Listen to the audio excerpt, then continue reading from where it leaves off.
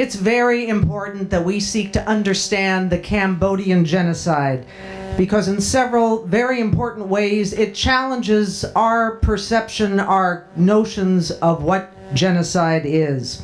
Most notably, our conception of how perpetrators define the other. We're very pleased to welcome Dr. Song Tan to this lecture series. Dr. Tan is a survivor of Cambodia's killing fields.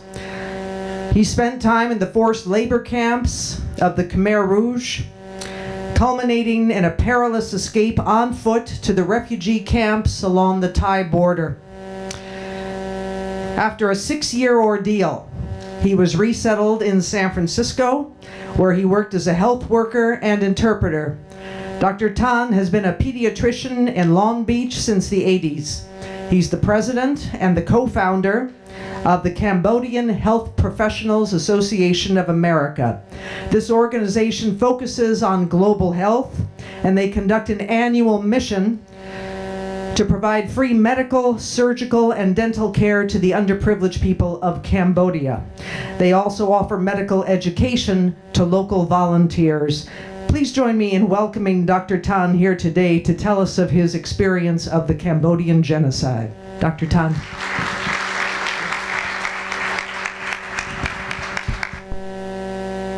Thank you, Dr. Diane uh, Panis, for your introduction. Thank you for inviting me here tonight. And thank you for my friend, Dr. Granwald, for uh, connecting me to Dr. Panis here today. I'm delighted here to be, to be here today. And this is like a deja vu. I've been here before in 1981, but I forgot about it. You know, after I arrived in San Francisco, actually I set foot in Hamilton Air Force Base in Marin County and I fall in love with Marin County but I have no chance to live here. It's so beautiful. So I live in San Francisco and worked there for uh, one and a half years before awaiting my credential to be recognized and then I went on to my residency in Hawaii and then set up my new life. So I have so much so much connection and so much in love with this, Northern California, but I now live in Southern California. My only disclaimer tonight is that you know, disclaimer, I disclose that I have no anything else, no expertise in genocide except to tell you my story, my experiences living through the genocide, how it's like to be lived in that period of time. During that time, I was a 26 years old intern in a hospital. You know, you can say mature, mature age. Now you can have speaker who already uh, some already or elderly and a lot of young kids don't even know about the event uh, the events that happening. Or some younger speaker at that time probably in a teen or in a you know infancy period okay? So just put you in the perspective that's how my perception at that time and how I experience my experience and influence my perception so this is uh, personal, I was invited, but I'm a little bit busy. Come out from my mission. I just arrived uh, two or three weeks ago, and I had to prepare this. I was not able to do it, so I said, "Wow, this is a obligation, personal obligation. I have to do it to." Uh, you know, actually to tell the story, okay, story about the genocide so that the younger generation can learn about it. It has been 41 years now. Last year we've marked the 40 years anniversary of the genocide, the start of the genocide. So this year is 41, first year, April 17. So a little bit just caps, uh, caps, uh, capsulize a little bit. The Khmer Rouge took over uh, the country in 1975, uh, April 17, and that term is very important because people uh, recognize it and they tell us the people that they torture, they said the people of April 17, I mean the people that they liberated and they subjugated to uh, this kind of tortures. The Khmer Rouge was overthrown, the reign is like 3 years, 8 months, 20 days until January 7, 1979. And during that period of time, over 1.7 million people, the statistic vary from 1.5 to 2 point plus million, so a lot of people uh, settled with 1.7 million people died during that period of time. you have to recognize there's so many other people died before that war, before that period, and during the, the, the evacuation. And the end was uh, the country went into peace only in 1998 when the Khmer Rouge political military structure was dismantled. A little bit about geography. Cambodia is located at Southeast Asia. Is uh, the capital is Phnom Penh. You see capital Phnom Penh here. The, this is talk about divided into provinces. The border is Laos, Laos. And Naomi just we visited last year Thailand in the west and Vietnam and the Gulf of Siam or of Thailand uh, in that period. You see, the Koh Rong is famous for what? This Koh Rong is famous for survival. Season last season and this season uh, is take place here survival. and the iconic landmark is uh, Angkor Wat. Anybody need to see before they die? That's what they say. Okay, Angkor Wat Temple. Southeast Asia now is constituted of 10 nations. Uh, Cambodia is part of it, uh, Singapore, Indonesia, you have uh, Philippines, you have Laos, Vietnam, Malaysia. That's the ASEAN country. The leader just invited by Obama was uh, two weeks ago in Sunnylands, in uh, in Southern California. They have a meet summit there. Okay. And the Cambodian population fact uh, almost I think it's surpassed 50 million pe people now. The large the language is Khmer, the Khmer language. Okay, you see a lot of translation thing uh, on uh, some material in the state. Uh, religion is Buddhism. Buddhism is divided by three branches of Buddhism. You have Theravada, you have Mahayana, and Vajrayana if you are, you know, in the Buddhism, Theravada is uh, called Hinayana also, or little vehicle, is practiced in Cambodia, Laos, Thailand. Thailand is the same Buddhism, Burma or Myanmar, and Sri Lanka. And uh, the other two is Mahayana. Mahayana is practiced by the Chinese, Korean, Japanese, and Vietnamese, and Vajrayana is the Tibetan Buddhism. The government is constitutional monarchy and the current king is Sihanouk and the prime minister is Hun Sen. Cambodia recent history is divided, uh, recent one, the Angkor, Angkor, Angkor Empire. There's uh, a chapter, there's so much talk about Angkor. You have to visit Angkor Wat to learn all. But the recent one is from 1863 to 53 the French came and uh, like a, take Cambodia and Southeast Asia like a colony, and Cambodia was uh, uh, under the French protectorate. Cambodia gained independence in November 9, 1953, and was under uh, Kingdom of Cambodia, the name, and the chief of state at that time was Sihanouk, Norodom Sihanouk.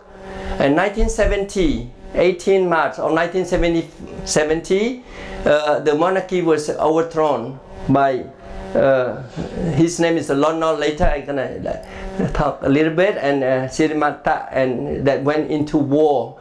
And 75 culminated in the establishment of the Democratic uh, Cambodia, which is Khmer Rouge. And 1979 to 1993 is uh, the regime that's under the Vietnamese control and Hun Sen at that time. And the first ever United Nations, uh, they call uh, peace accord, brokered by United Nations was signed in October 1991 between the faction and currently the government is the Kingdom of Cambodia after the election and now it's like a, a parliamentary system with uh, monarchy, constitutional monarchy. At that time, during the the Sihanouk reign, at this time, this time actually, there was a little bit kind of peaceful uh, prosperity in Cambodia. Phnom Penh was known like the pearl of uh, Paris, like Paris in uh, in the east, and Cambodia enjoyed a peaceful uh, time, period of time, whereas Vietnam was plunged into war in Vietnam. Those of you old enough to know the war in Vietnam, triggered a lot of manifestation, demonstration in, in America because it was drafted. It affect everybody. Not unlike the war in uh, recent war in Iraq, Afghanistan, only the volunteer army went into. At that time, people come of age had to be drafted. I was not here, but you know, people demonstrated, right? People know had to be lottery, thing like that. And Sihanouk was the king. He crowned it as a king in, when he was only in the teen, 18 years old. That's him. Just a little bit leading up to the Khmer Rouge. Recently, have you heard Bernie Sanders talk about Cambodian American bombing in America, in Cambodia, being responsible for the slaughter of the Khmer Rouge genocide? A little bit very controversial during the debate with Hillary Clinton three weeks ago. In 1970, after the coup d'etat, Nixon ordered intense bombing in Cambodia with Henry Kissinger. In the front line, you see all this hotspot was bombing. The United Nations dropped upward of 2.7 million tons of bomb in Cambodia, exceeding the amount on Japan. You understand 30% of the country population was displaced. The Khmer Rouge at that time, very controversial, but at that time, I have to tell that Henry Kissinger, he gained the Peace Prize in 1973. And here, as a youngster, you know, at that time, 1970, there was a demonstration and resulting in four deaths, uh, six students shot at Kent State University and Jackson State University uh, with a demonstration against that operation, the uh, secret bombing in, Cam in Cambodia. US bomb communist Vietnamese sanctuary and supply line.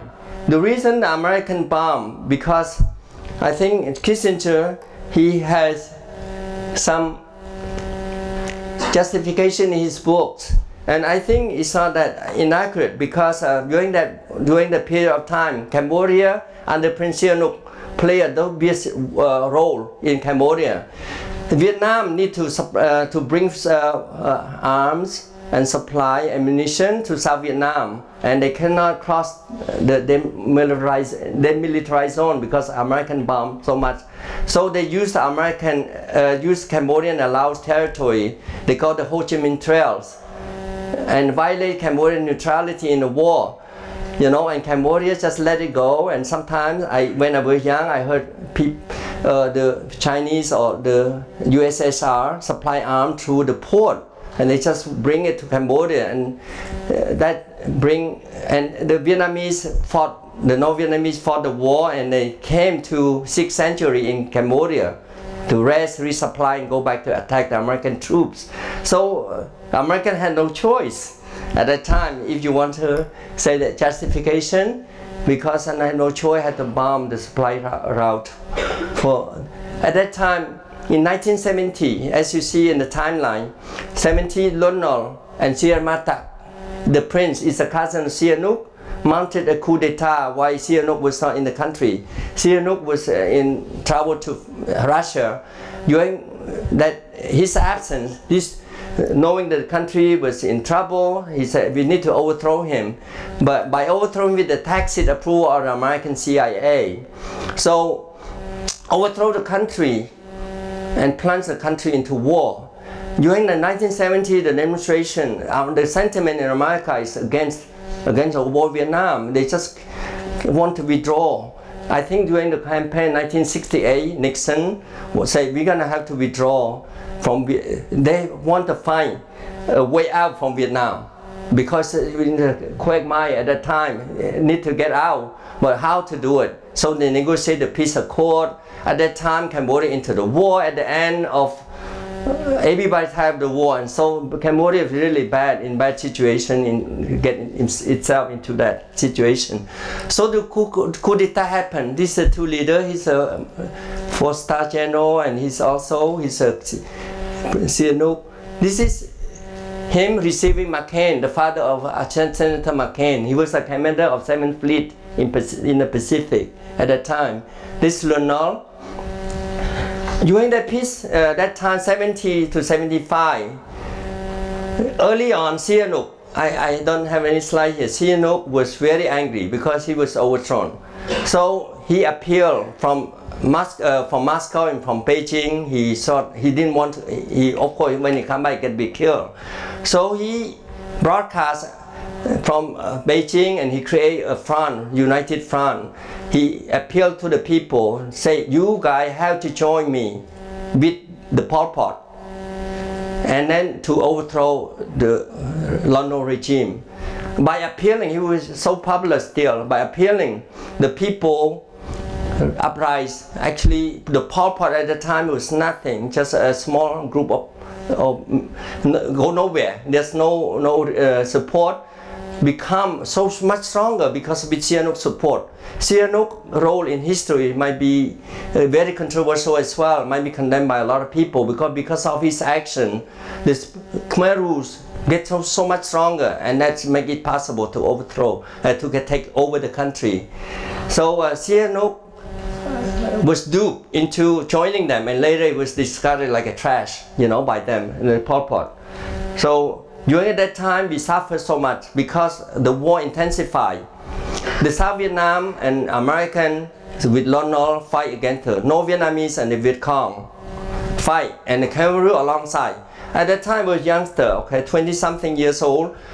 When they have fight, I saw the dead body, the all Vietnamese, not Cambodian. But they fight in the name of the Cambodian, of the Khmer Rouge, on the, on the uh, of the, of the front, the Sihanouk front, the French front. They basically Khmer Rouge and Sihanouk are the same place, the same, same time. So they take over the country, one province at a time, one province. So many casualties leading up to the war. My family at that time was there's so, so much rocket bombing to the capital. They want to disrupt life everywhere. So my family, actually, for experience, my family in Phnom Penh were, were, were hit by the rocket. Five of our family died that day, 1973. So uh, I was come back from medical school and go to my home. People surround my home. They bomb everywhere at that time. So many just scattered everywhere in that village, you know, near the stadium. And uh, my family uh, like that, just slaughter. My medical school also was attacked, was bombed everywhere. You just live under the bomb. There's no uh, uh, don't uh, no shield, nothing. You just live like that according to fate. Okay, so there's so many chaos, so many death, and that's not even counted during that time. So many refugees who come to the capital because the countryside was taking over. And at that time, report always say, actually, when I was young, I didn't know what happened in the other side of the country until I listened to the Voice of America. The news, American News, NBC, ABC, they cover. They have their team to go to cover the, the place. I didn't uh, venture. I did not venture outside anywhere. We just live at home and go to school and go as business. The country was shrinking. The colonial government was defeated because American support uh, was dwindling and uh, their force getting stronger because of the support of the Vietnamese, uh, the North Vietnamese and the Viet Cong. As you know, the trend went uh, upward uh, to, uh, against uh, the Lon Nol government and American forces. So I heard rumor that their practice of Pol Pot, every time they take a city, they evacuate all the, the province, they evacuate the city. They evacuate them like that. So, oh, what happened? Oh, maybe they evacuate them, they want population. It's a struggle for population. I didn't realize that's how they practice. When they take over the country, they evacuate Phnom Penh as well. And that's a pattern, we didn't realize it. A lesson to be learned. A lot of us would have survived or just fled the country a long time ago, but we did not. Okay, so the, that's a lesson, and a lot of us make a mistake to stay on, and that's how let's go. In 1975, April 2, desperate Americans know there's no way they're approaching, the troop approaching, the American embassy and the policy is evacuate the people that work with the American, like journalists. You see the killing field. That guy, Dith Pran, will offer to go that day. Dith Pran, the one that played in the killing field, to offer to go with Schanberg. Schanberg leave, but he, uh, no, Schanberg stayed there as well. Schanberg, which is a New York Times journalist, and the Cambodian uh, helpers, he offered the Cambodian to leave that time by see the evacuate. the Marine outside there evacuate the people, the Cambodian who actually the Cambodian because they know they're gonna be slaughtered after they come. Just like anybody who have some connection with American would be slaughtered.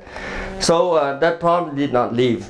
So at that time there was fire, fighting everywhere in the compound of the embassy. That was April 13. Four days later, the, the capital was taken. The people would gather to see the Marine evacuating Phnom Penh. This is the last ambassador to Phnom Penh. His name John Gunther Dean. He live in Paris now. Recently, he was interviewed and he really bitter about this. And he came to Thailand. He said, United States abandoned Cambodia and handed over to the butcher during the pullout 40 years ago at the anniversary.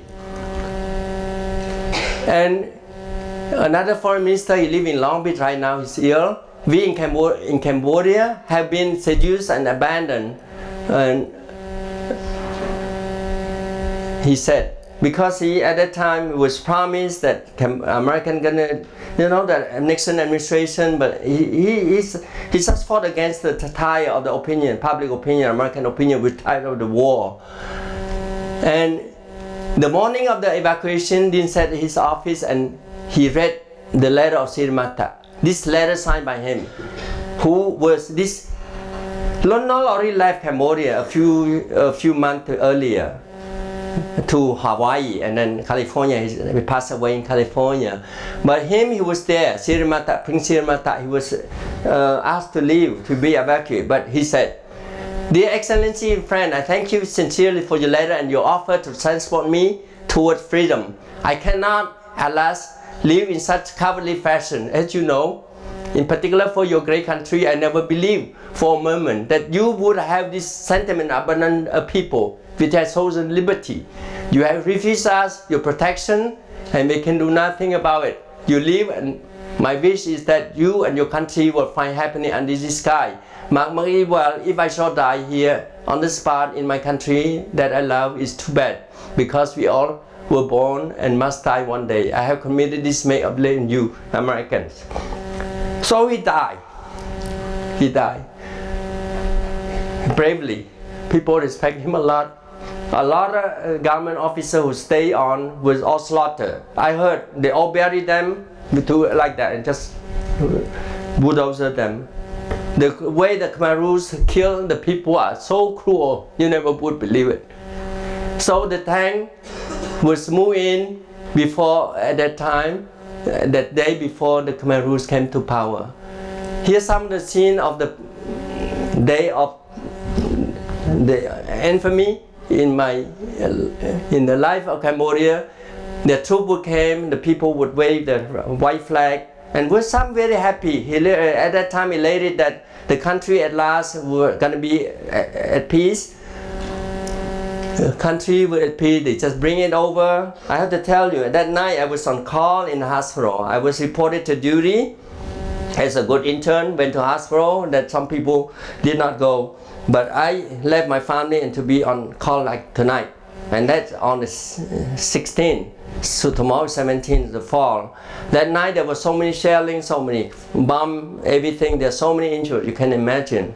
And the next day they came. We thought, oh, the war is over. We're gonna go live in a communist country. It's okay. That's fate. You would not believe that they would a few minutes later or a few hours later they say everybody had to leave the the city even in hours or days. So we had to pack. I tried to go back to my family. I cannot leave because they would not let me go to the other side of the city. So I was separated from my parents, my sisters, on the whole extended family from then on.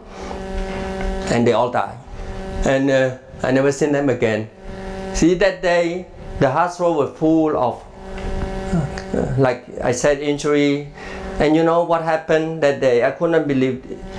The city was evacuated. Everybody evacuated. There's so many scenes that you can see in the movie. They enacted so many scenes some I just you can go internet you can see some of the scene move the newsreels but I have to tell you I saw people just walking slowly okay? One or two million people walking out.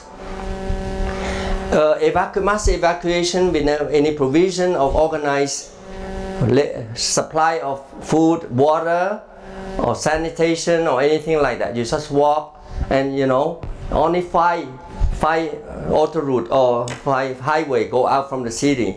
You walk from the high highway, and uh, how slow you're gonna be, and there's no nothing. You have to carry your stuff. Some people drive the car, but the car would uh, run out of gas, and they would confis- confiscate their or anything. They confiscate. You say just walk your your foot and uh, people die just on the street. I see people abandoning their elderly parents. In hospital, I work in hospital. They would have to go out with the bed, IV. The hospital would stop operation uh, on the spot.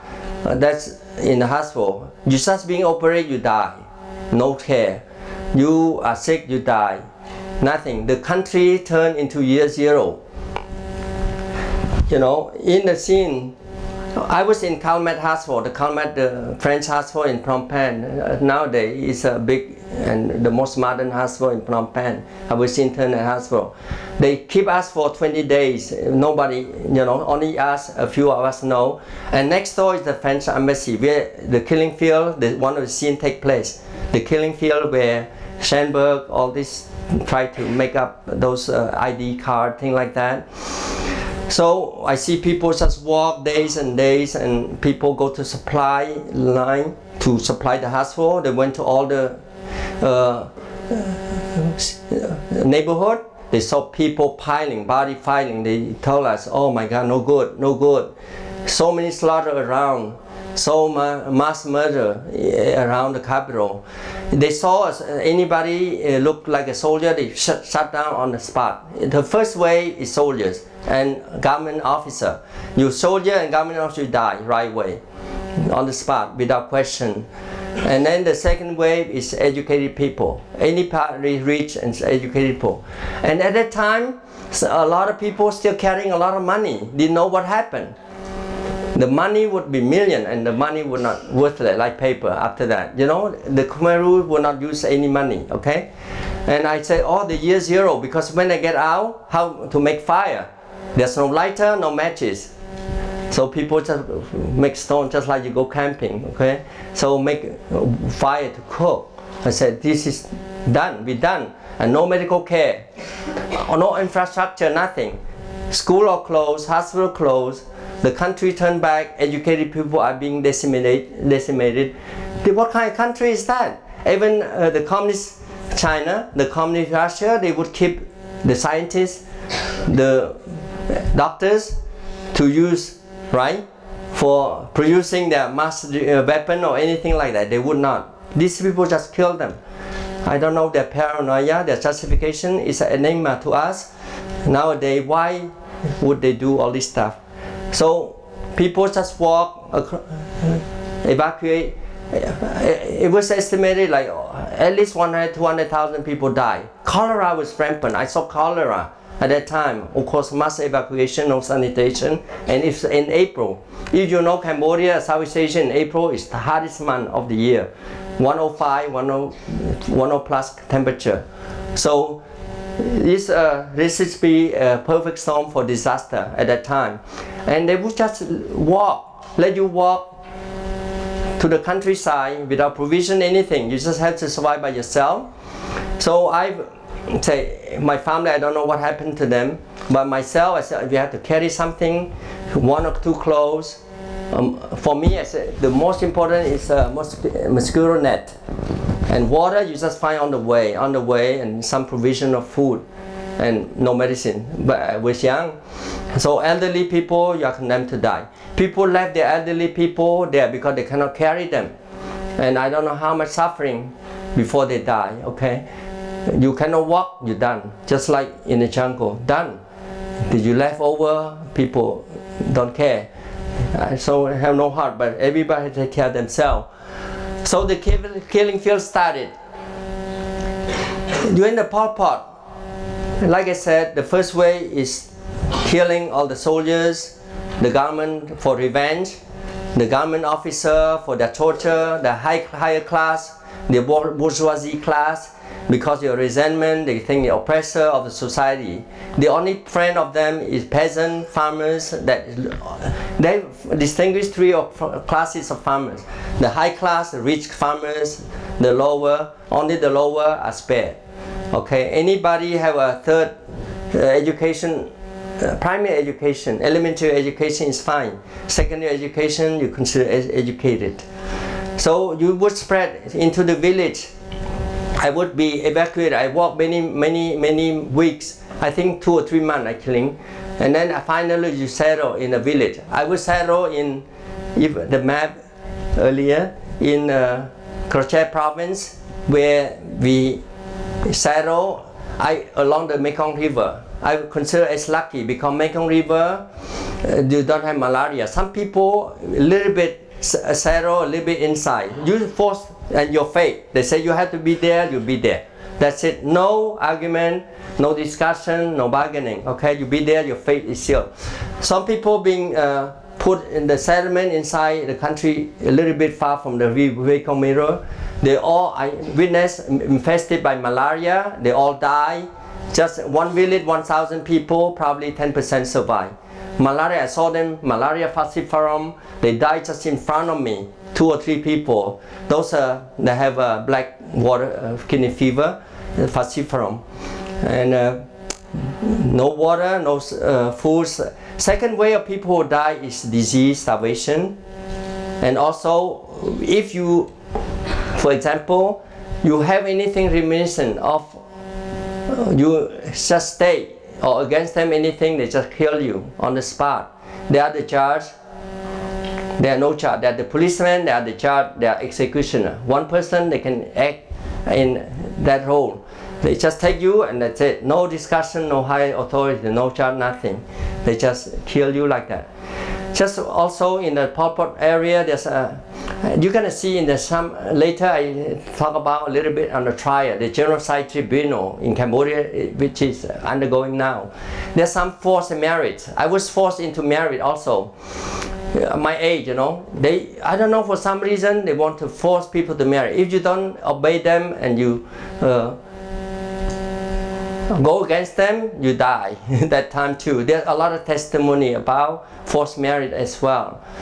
That's one of the practice I never know that existed in any any example in the past.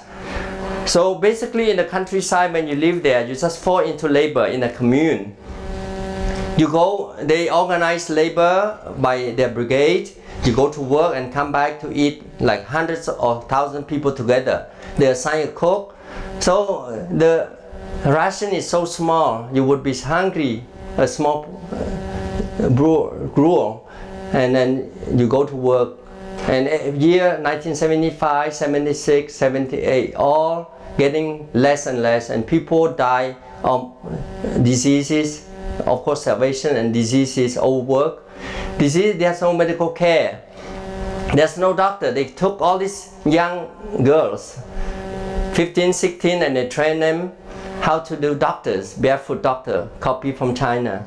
You know, barefoot doctor. These doctors would know nothing about medicine. And you know, uh, the only thing we saw, uh, always we talk about is that they put uh, medicine, the quinine for malaria. They put med medicine like that, and they with a plastic bag, and they put their syringe, uh, unsterile, not sterile at all. They inject in the people. And you know, some malaria can be cured by itself, like the they call malaria Facif, uh, Vivax, which is a cyclical. You can get into remission, thing like that. And some people just suffer from abscess. So many abscess and die of abscess instead of dying of the diseases. So, besides mass murder, starvation, diseases, you also die of exhaustion and during that time a lot of persecution against the Cham, the Muslim people. There's a small percentage of Muslim people in Cambodia as well, which is on trial right now. And of course, the ethnic Vietnamese is also on trial. So during that time, as you see, uh, the skull display, you can see some of the places, if you visit Cambodia, you can see some excavation this is some horrific thing. One of the places they go, like Naomi went there. This is this is a mass uh, forced labor. During the rainy season, you would go to plant rice, things like that. But in the dry season, which is run from December to May to May, you were forced to go to the uh, remote area to build dam and dike. And you see uh, some clip in a movie or some news, you see people like that. This is not really clear. People just carry carry like that. That's what we did. Carry dirt, dig dirt, and fill it. And I heard all these dike and dam later were all destroyed by flood. The reason is poor design. They are not educated, you know. People say these people are not leaders. They, uh, they just peasants have no education. How can they build this? They lead us to build something that is not gonna last. They don't know the geography very well, the train. They are not educated, they're not engineer. So that's a problem. And here the mastermind of the murder, Pol Pot. He was educated in France. He went to France. Sihanouk used to say, oh, I'd rather have my student go to China than France or Russia. When they go to China and Russia, they come back, they're against communism. When they come back from France, they all idealize and become communists. And, say, and he idealized it and come, they want to set up a utopian society in Cambodia where the country would be equal, everybody the same. But the equality is not lift up everybody to be equal, but to put it down. One of the examples is that on the countryside, when we were there, the big houses. They would destroy the big houses and build smaller one. Destroy the bigger house too, because you are too bourgeois. The bigger one had to destroy, had to be destroyed, had to build smaller one to be small house. So everybody had to bring uh, bring back to the low, lower end. Here's some of the, and the soldiers. I'm so scared of these people. I know. I mean, look, they have to look in their eye because they are cruel. They are very. They're young they are children and they took them as their soldiers and when they rule us, they are ruthless. You know, kids are very easy to influence, right? Very easy to, to educate, to brainwash them and tell them what to do. The country was Okay, here's one of some of the rule of Anka. Anka, that means the organization. They would not tell them as a communist party. They call the organization called Anka. Anka, which is organization. Anything, report everything to the Anka. That means as a citizen you have duty to report any activities. For example, the background. Some people hide their background. If you know, they sometimes talk between their friends, say that, oh, you in an old society, you are, have a car, thing like that, and you report, oh, yeah, that guy have a car, he must be a rich person. So that night, he disappeared. Okay, so some kids don't know their parents brag about, oh, my dad say he have a car or something. Oh, my dad was in the army like that. Done. That night, done. Okay, and secretly observe any slightly. If you sing a song reminiscent of the society, of the good old time, you dead also. Okay, so this is stick to the four principles, do not know, pretend not to know anything. You see somebody do something you not know, not to hear, not to see, and not to speak to your own risk. And the Angka, they said everybody spy on each other, just like the communist system. So have eyes of a pineapple. You have to love the Angka. The Angka is the mother and father of the young children. If you have your children when they're young, they took away to be looked after. The parents had to go to work, they are not live together. And they said, if you are uh, your your parent, you have to be faithful, loyal to your to your Angka, to your organization, than to parents. That means if anything suspicious of your parent, you report it and that make the family destroy the family this is their Angka I just have to go over that during the time we suffer you know, I wish American come to bomb the second, third world war. I say, I don't care. My life is short. My life done. You know, at that time there was no hope. You know, you, I always think you are better off in a prison because you know your term gonna be five years, three years. You in the Pot at that time, I said, done. You have nothing. Some uh, committed suicide. Actually, some of my friends, because there's no hope.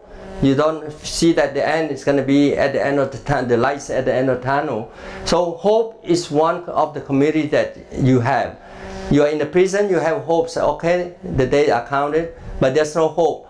But during that time that we suffer, a lot of story that will come out from Cambodia was not believed by the, the people outside Cambodia.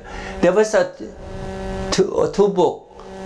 Okay, one is uh, The Gentleland. When I came out to refugee camp, I learned all this stuff by John Barron Anthony Paul. He published in the Digest magazine, Reader Digest, very famous, in retelling the atrocity committed by the Pol Pot. And that was the first time the Western world, the whole world, realized what happened in Cambodia. Another book is by this French priest. He lived in Cambodia, speak Khmer, and he's uh, also he year, he wrote the year zero. I will mention year zero, that year that uh, Cambodia put back to medieval age. But a lot of people didn't believe it, and one of them is Noam Chomsky. He's very uh, MIT, very very respected. Chomsky and Herman. But we have to say what we, we think they're real. Much of the posturing by economics and things like that is largely usually because of the opposition to the war in Vietnam. When they something happened as bad as in Cambodia, they validate uh, not validated people that uh, uh, was for the war and uh, was discredited to the anti-war movement. So that's why uh, Noam Chomsky and Herman published an article in The Nation saying that failure of the American effort to subdue South Vietnam and to crush the mass movement in Indochina. Now there was a campaign to reconstruct the history. They think they reconstruct the history so as to place the role of the US in a more favorable light. The rewriting of the history uh, by the established press will say uh, so well by the tale of communist atrocity, which not only prove the evil of the communism but undermine the credibility of those opposed to war. At that time, there was a movement, strong movement of anti-war Vietnam War. So they want to validate that it's not happening, but it's not true. Both claim that they have not no massacre. They lay the blame on the tragedy of Khmer Rouge on the American bombing. They accuse the, uh, these people of being insufficient critical of our account, the refugee account, which, which has all proven to be truth. Okay, they rather base their argument on their reasoning that something seems impossible in their personal logic, then it doesn't exist. Everything the Pol Pot did defies logics. Like I said before, how can they de destroy and kill all the educated people in Cambodia and to expect the country to to be uh, rebuilt and doesn't make sense and that's why it's intriguing and it's, it do a lot of us to stay in the country and almost die and a lot of us die our family. He now to document this thing when you go to visit Cambodia uh, Naomi saw there's a Tuol Sleng Genocide Museum. In the early month of the regime they, they killed these people. Actually this museum not for the common people. In the beginning, it's for officer and the cadres, the cadre, Khmer Rouge cadre actually, they killed not us. We actually, I didn't know anything. We are in the countryside, remote in the countryside. This is in the city of Phnom Penh, near my home actually. They, call Tuol Sleng. It's a high school, Kaisu. Uh, and then they make it as a, a prison to, of torture. So a lot of people were uh, being uh, write confession and being tortured and brought. This is the museum that sometimes you brought to see them early on. This picture, some of my classmates was there, was there, educated. I have to tell you also, at that time, during the 70s, during the uh, Lon regime, a lot of foreign students, Cambodian medical uh, students, there's not so many in America, but in France, there's a lot of support to the Khmer Rouge because you know Lon Nol government and the whole government were very corrupt and you know the idealistic student support uh, the Khmer Rouge. Some of my friends in uh, they they they was in France during the takeover, but after that they applied to come back to Cambodia. They want to come to help rebuild the country. They apply and come to Beijing and come to Cambodia. And you know what happened these people? All of them are, were in prison, and some of them were killed. They would not spare them. Even this strong support them in Paris that demonstrate against uh, for them, fought for them, argued for them, they killed them because they suspicious of them being a CIA agent. That's demonstrate how paranoia uh, these people are. These people are educated. They're all the crop of the crop and they kill all of them. Okay, into slang. And they make confession. Can after they that they took to this center, genocide center, Choeung Ek, you know, where we brought you on the Choeung Ek, where Choeung Ek Genocide Center is located about 70 kilometers from Penh. It's a field uh, before, it's a Chinese graveyard and converted to a field, killing field. If you go there, you see a lot of uh, hole, okay, genocide. You go to Cambodia, you see that uh, probably up to 20,000 victims diplomat foreigner. That's foreigner too. Not european were kill there okay. That's a place mass grave. Even the kid they killed there against which executioner beat the children over here? Beat the children. You see them. A lot of uh, things that now I'm just talk about after the Pol Pot. There's a movie called Enemy of the People. It's a new documentary. He's now at Harvard. Thet Sambath he talked about he interviewed he took so many years to interview uh, brother number two the second to Pol Pot he was on trial. He's now on trial. And if he's convicted actually. And he took many years. There's some clip you can go google you can you know youtube some of youtube. This is two murder. This in the movie he show how they killed people like this one of the people. The Khmer Rouge kill people not just like that. Sometimes they kill, like in my village, they took me, uh, my or my friend. One day I survived. Why people ask me why I survived? You know, during my uh, the area they took some of my friend that day. They took some of my friend away, and I said, why don't you have my name? Why I'm not taking away? I said, I asked. They said, oh, I don't see your list. They miss me. I was some places they miss me my name and it's because of they missing my name and I survived. That's only by that. And so I asked them why don't you take me also because I didn't know what happened. They said, oh don't worry next time, okay? But all my friends were taken away, were taken away and they all died. And the way they died, they told me later, the tell told me, they just put in a mountain and a cliff like that and bind them and just just pull, push them and they just die like that on the mountain. It's just eaten by animal like that, and I was spared.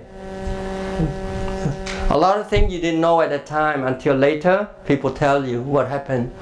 This is Nuon Chea, the number, brother number two, during the clip.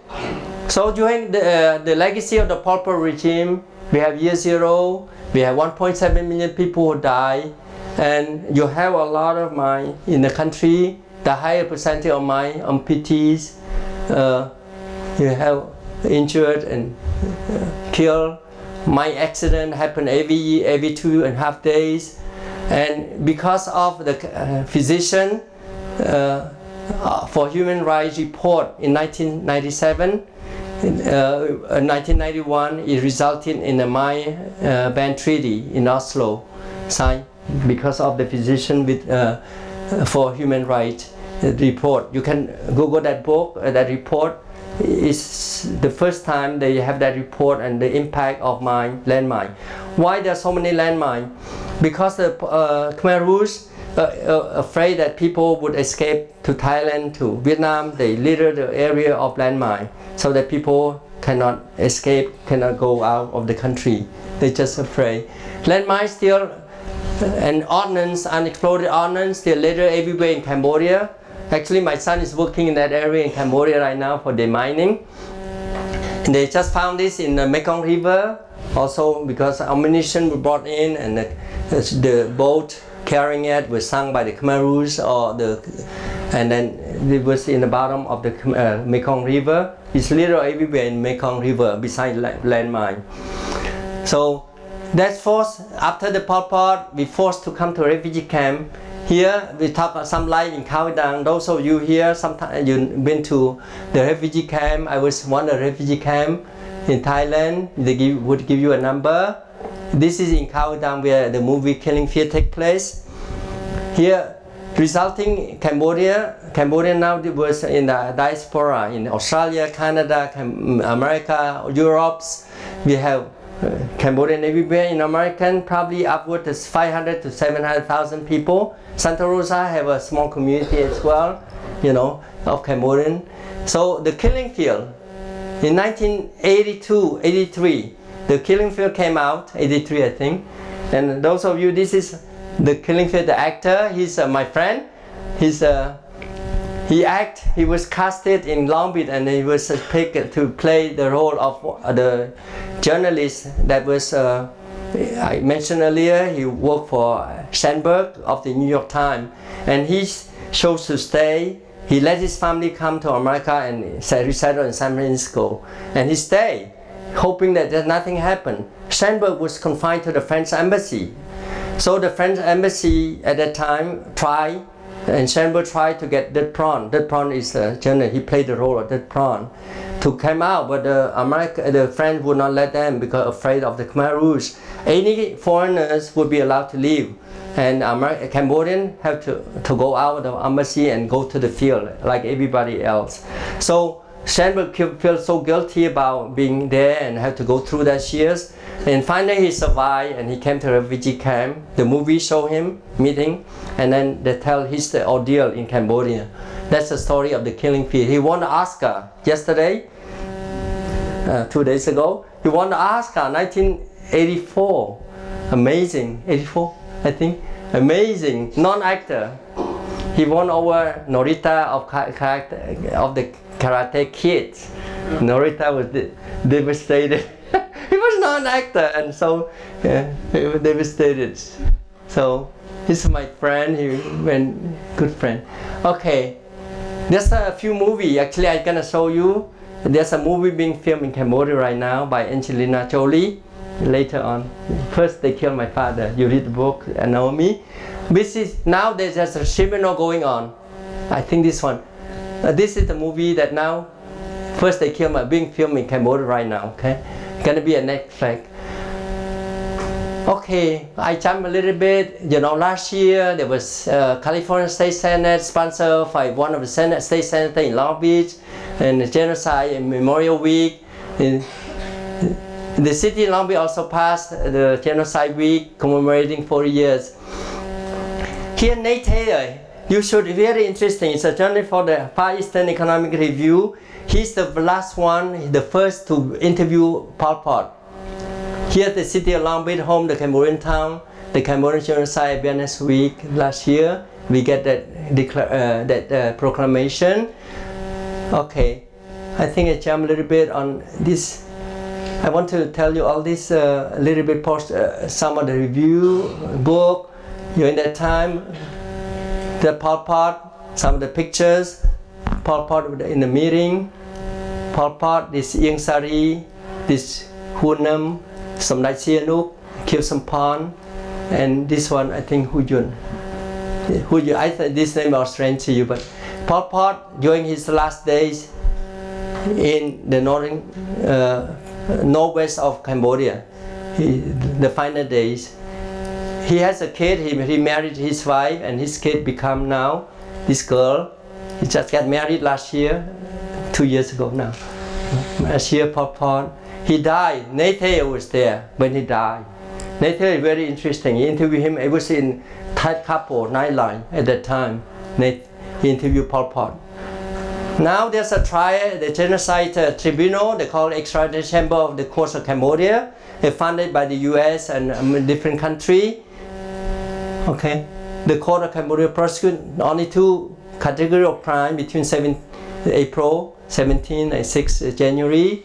Senior leaders and also those believed to be the most responsible. They don't want to go through every every uh, people. Cause number one, Ew, he's the uh, Eliel Duch, he's a superintendent of the Tuol Sleng Museum. You know, that's why he's an easy target. Case number two is now underway. Khieu Samphan is a very educated person. Uh, he's the president of the, the, uh, uh, Cambodia, Democratic Cambodia. He's a figurehead actually. He have a thesis in France uh, for his doctorate in economics. I love him when he was in during the Sihanouk regime. The reason he's so clean, he's not corrupt. He's an economic, you should be rich, he's so poor. He would not take any bribe and the kind of person that make him like that, pure like that. But he have that ideology, join Pol Pot. Pol Pot is not as educated as him. He joined him and later he would be killed if he uh, really act against uh, Pol Pot. So he just stay there to be a figurehead as the president without power, I think. This, this one, uh, this one, Nuon Chea, brother number one, have power. He's very powerful, that guy, he educated in Thailand. He's not French educated. So Nuon Chea, this one, he's old, the one that uh, enemy of people, the movie talk about him, interview him. You should watch on YouTube about this one. So he was appointed head of state uh, in 1976, succeeds Pol Pot, but now he's on trial still. He's being arrested and tried. Actually, he's convicted in one count already, but he's still being convicted. You know, the court is going on so long, spend so much money, and I see only convicted two or three people because some of them already died of age and also of uh, Alzheimer. I think. See, Nuon Chea is still alive. Nuon Chea, he known as number two. He studied in Thailand. He, the deputy uh, secretary, he indicted for crime and Khieu Samphan, like I said earlier, he's very well beloved uh, before clean, but he still commit crime. And now case number three, four is not really moving that much. Those are secondary people. Case number four now, again the Cham population, I mean the Muslim, Muslim population, the ethnic Muslim. At that time, this minority were persecuted. Uh, so it's a genocide in the terms of, and also the Vietnamese also Some of the picture of Pol Pot. Some of his level, you see lady so innocent looking, but he's a butcher. Pol Pot, UAH, Khieu Samphan, some of the level people. Now, there's a documentation center of Cambodia. You can Google. It's founded by Yale, by, uh, by US, by our tax money. Uh, affiliated with Yale, documented thousand documents. You want to learn about genocide in Cambodia, that's it. But now this gonna be replaced by this, uh, this institute. They call Power of Leaves Sleuk Rith Institute. When you visit Cambodia next time, when you come, if you want to document this history, study about it, that's it. The permanent home of the largest collection. And the building is designed by an Iraqi-born person, winning Iraqi British. Genocide Memorial in Cambodia. That's this lady. And this is going to be the building this building beautiful gonna be see? This gonna be it's not yet it's not open yet but gonna be beautiful. I, I okay so that's all for me. I think that's uh, thank you for your attention.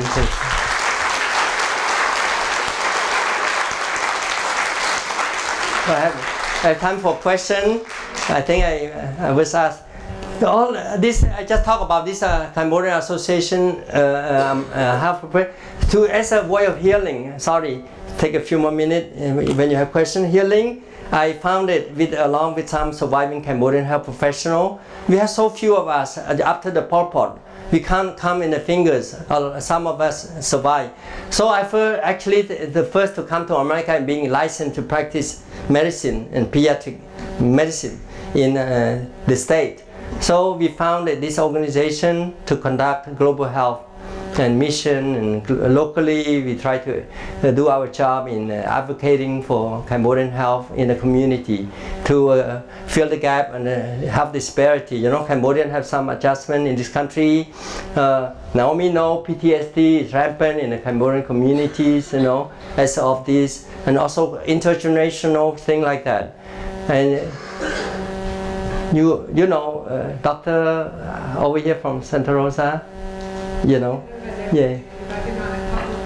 And then we medical mission Cambodia is beautiful to visit. We have medical mission anybody would welcome. We have fundraising to buy medication. We buy medical, we uh, sponsor and we treat it. I just come back from mission three weeks ago, and uh, we treat like 5,000 people. We uh, surgical uh, operation 150, and we provide all this to just try to help a little bit. The infrastructure in Cambodia, everything is uh, so much fall behind.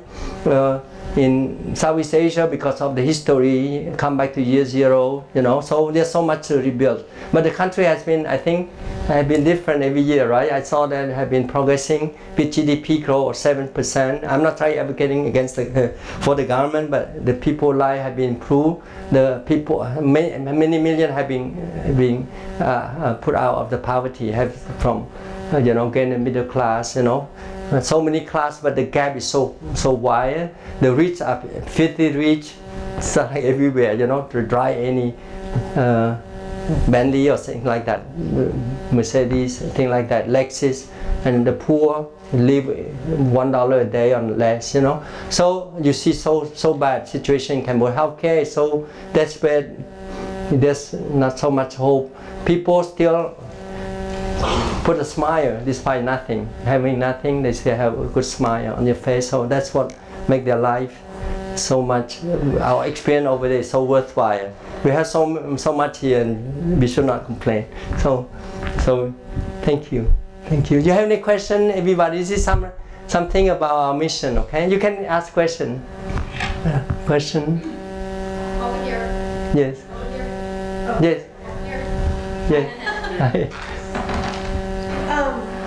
So I want to go back to 1975. I actually have multiple questions, but I'll constrain it to one for now. My question is, at what point did Cambodian people who weren't part of the Khmer Rouge start to realize what was happening?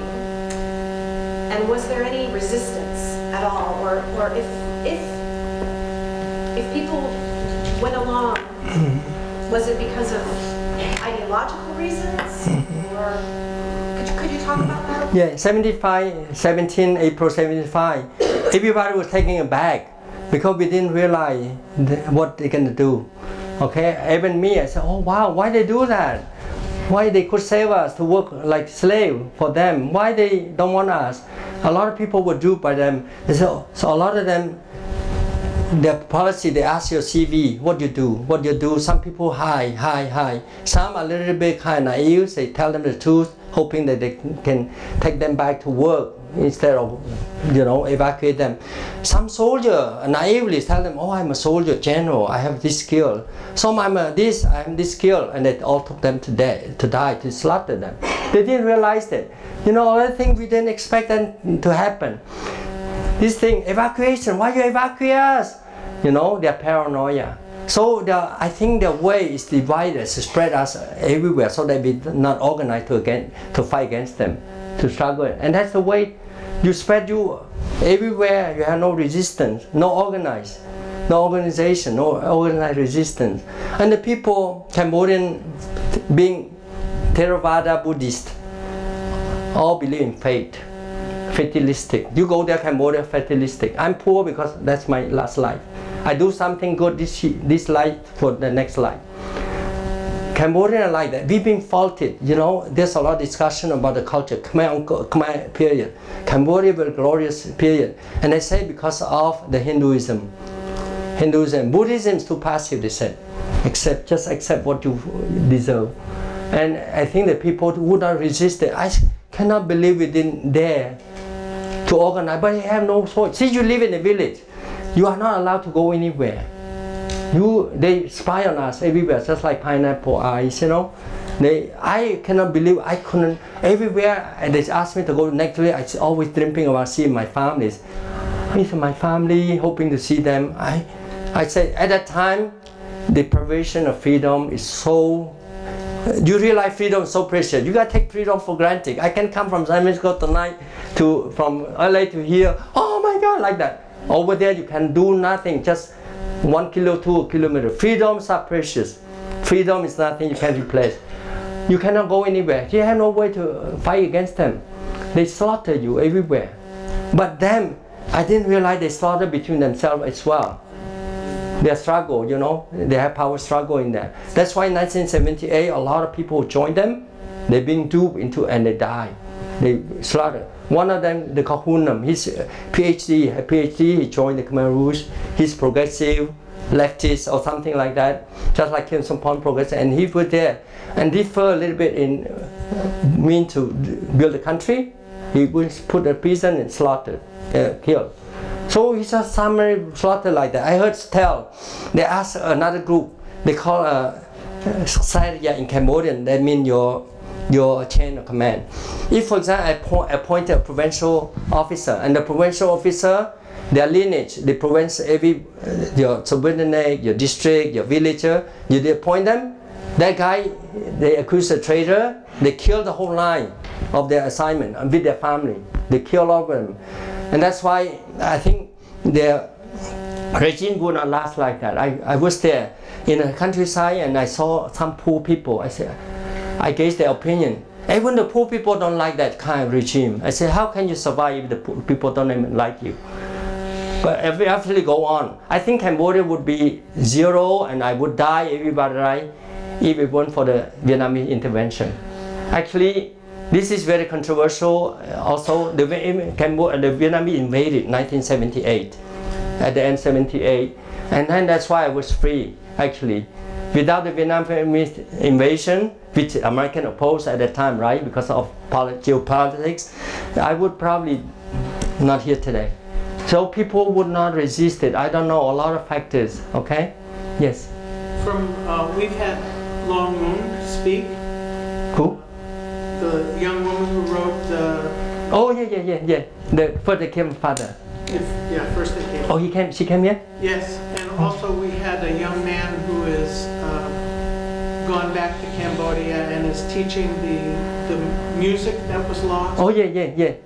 Yeah, yeah, I think uh, Nimpon, Chimpon. Yes. So we've had people come Wow, that's good. They all very, uh, regularly. But one of the things that struck me was um, I was told that in Cambodia, if you wore glasses, mm, yeah, exactly. it was assumed Yeah, that you had them because you wanted to read. Exactly. And if you wanted to read, you were educated. Mm, yeah, exactly. It's a sign of knowledge. So that's why I took away and I throw away my eyeglasses. I would not wear them. You know, Loung, all those people, I know some like her, her perspective from a child. You know, that's why in the outset I said I'm that age, 26 and educated uh, uh, college student, medical school. I through, I went through all this period. Actually demonstrate like everybody else went to demonstrate. The day they overthrow Pol Pot, uh, overthrow Sihanouk, I was at the demonstration.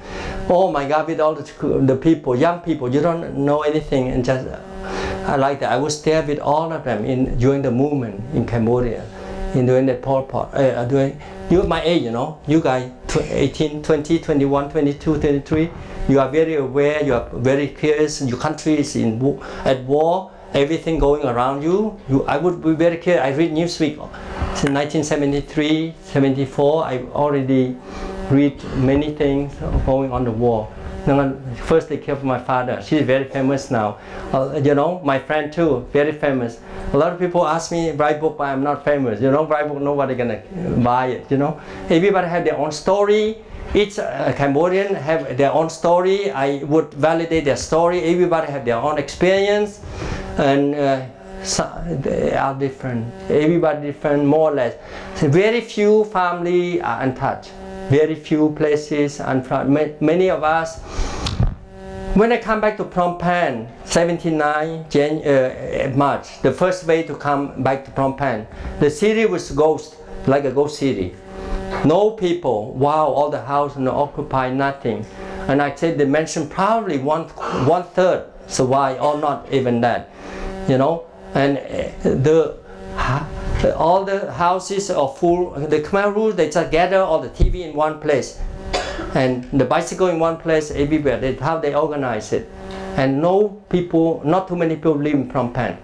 They just gather, they live in the countryside everywhere, you know, and that's the way they do, you know. So a lot of people are duped into telling their right and their real identity, hoping that they being called to work for them. Their only hope is work for them. as a slave, not to be put in hardship in a in a field countryside, starved to death. But they killed, they were killed. You know, so no resistance. I couldn't believe no resistance. It's not possible anyway. You know, at that time, uh, people always, oh, you resist like that. They all talk. They all talk very resentful against them because they they just talk. And that's in the border in Thailand. They do nothing. They just talk. They dare not do anything. You know, where we are in country in the country style. I wish the war is over at that time. I care. I say actually at that time was suffering so much that I don't really want to leave anything. It's better to to die. But still a glimmer of hope. That means hope. Just hang on, hang on. And suddenly the Vietnamese invited and I survived. I said, oh, I have a new life a new life. And at that time point on, I said, oh, I have to be careful now. Be careful about my life. I have to talk, not to talk. Some people die at, at that time, expressing their pleasure of the, uh, their defeat, and a lot of uh, people die. And again, uh, I will come to a refugee camp. We at the, we, we in Khao Dang in Thailand, and people tell their story. It's just amazing. Everybody have their story. Everybody just give me chills Everybody give me the story. One story, for example, I, I know one guy he was being killed and then he tried to escape, and he said he just floated in the Mekong River at night time, float the whole time, go to Vietnam, the whole time from north, and in the daytime would be spotted, right? He just get up and go to anywhere for it, get something to eat and just hide everywhere. And during at the time the Pol Pot in my village said, oh, we have enemy, some enemy intruding, had to be careful. I didn't realize what's going on. That's how it happened, thing like that. And he just flowing himself and try to survive. You know, when you, I always want to escape, but I say I would die and never gonna make it. Go inside the country, walking, no ammunition, no ration, I would die. And I was not at that time good at direction, you know, you would die. So only a few people who are in the border, on the border, they are successful in escaping to Thailand. There's some some of my friends who you know who one friend he's he work in the White House. He escaped. He's very successful. He's successful in that. Yeah. Thank you. Anybody have any question? Yes. Yes.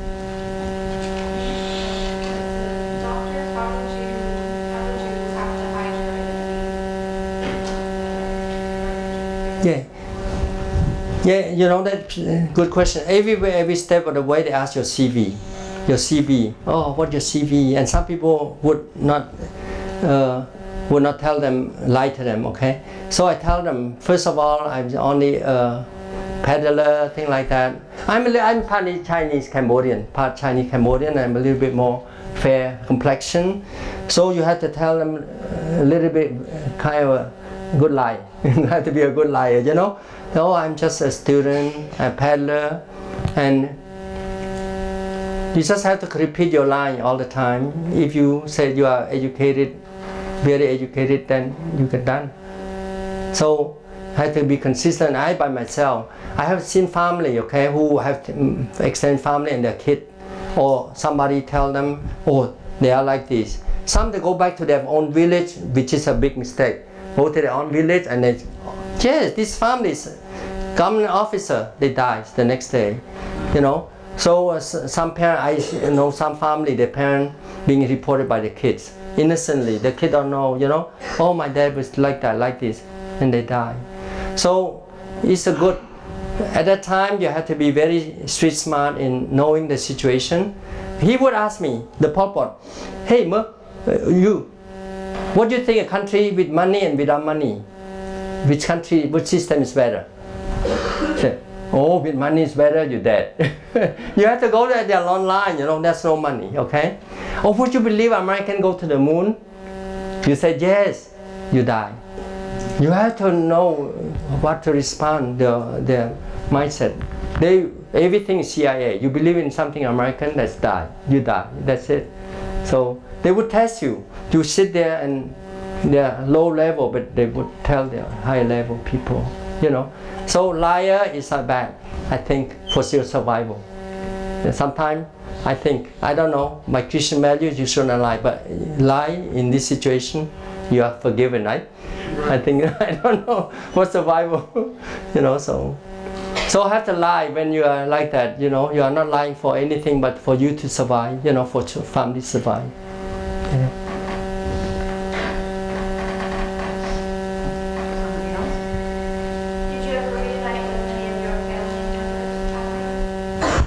I come back and no, no.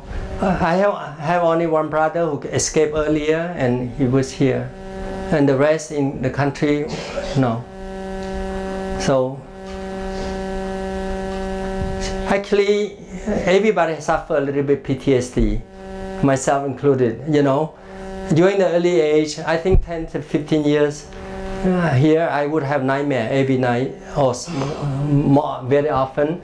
At night we're being thinking, oh my God, I'm being caught again by the Pol Pot. I live uh, during that nightmare. I would get up and say, oh my God, no, no, it's not true. You know, thing like that. So,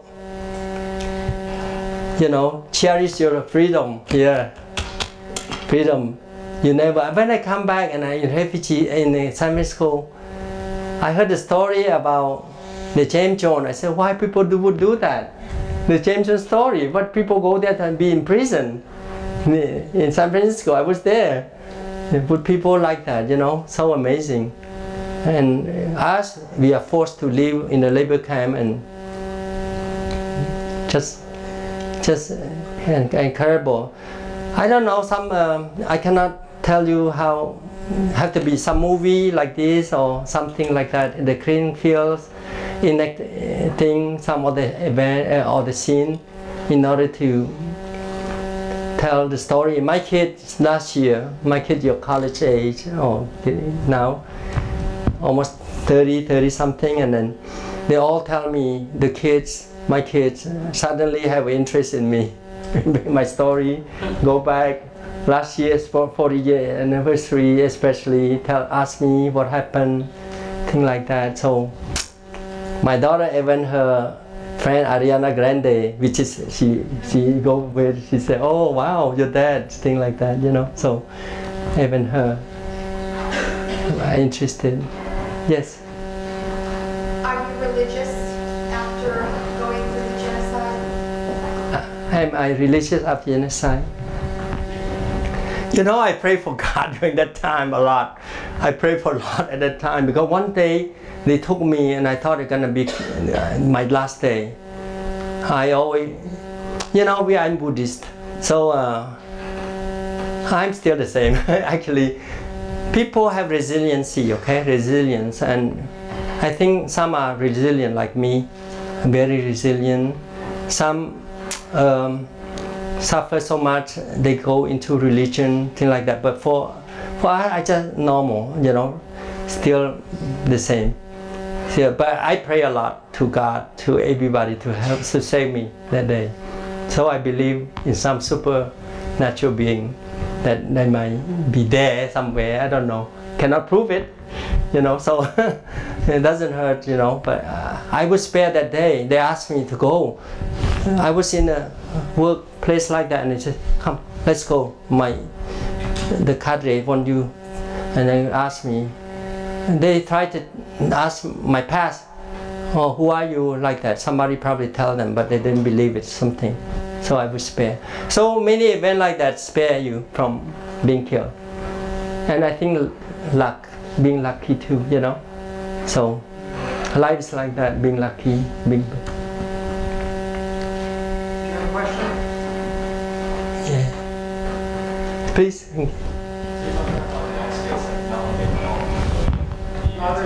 Can you please?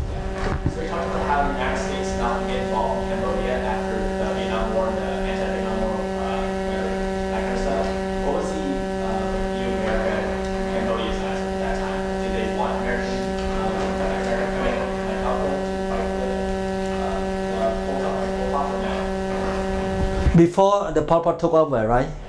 Before the Pol took over, yes. I think majority of the people don't like the communists. And uh, American, uh, the ambassador, said that at that time I didn't know, but he said that uh, 1970, after the coup d'etat, American support Cambodia, the, Cambod- the colonial government, but half-hearted support, not really full. And if you are at that time, you are at that time, the Congress was very against it. The Congress got funding the war in Cambodia and Vietnam, want to withdraw. The public opinion was against it. You go back in that time, 1960 was very strong, and uh, the Nixon administration came to power to the White House in 1968. And in the 70, the American wanted to disengage from Southeast Asia, from Indochina.